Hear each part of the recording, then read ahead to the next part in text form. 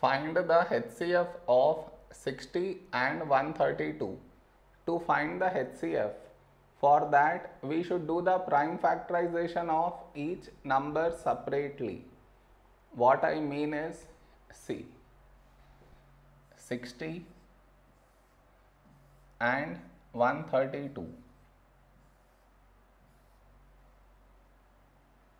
This is your step 1. Next. In this number, last digit 0, so take 5. First number 6. A number close to 6 in 5 table is 5 ones 5. 6 minus 5, 1, 1 carried forward 10. When do we get 10 in 5 table? 5 2's 10. Now 12 is 2 6 12. 6 is 2 3 6. 3 is a prime number so 3 ones 3. The other number last digit 2 even so take 2.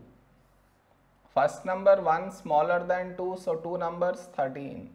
A number close to 13 in 2 table is 2 6 12. 13 minus 12 1 1 carried forward 12 when do we get 12 in 2 table 2 6 12.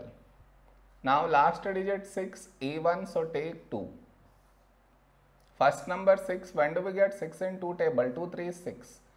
The other number 6 when do we get 6 in 2 table 2 3 6. Now last digit 3 not even so not divisible by 2. Next prime number 3.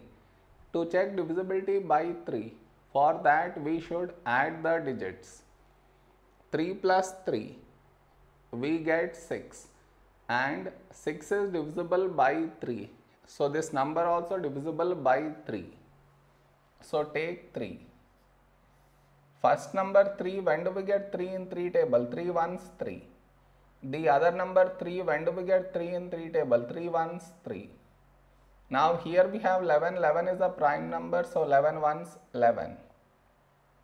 Therefore our HCF is HCF is the product of the numbers which should be present in these two places that is here and also here.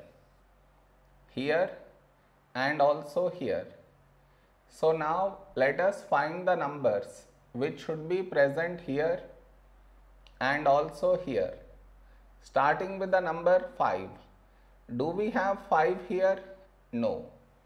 Next number 2 do we have 2 here? Yes. So cut 2 right here Next number 2. Do we have 2 here? Yes. So cut 2 right here. Next number 3. Do we have 3 here? Yes.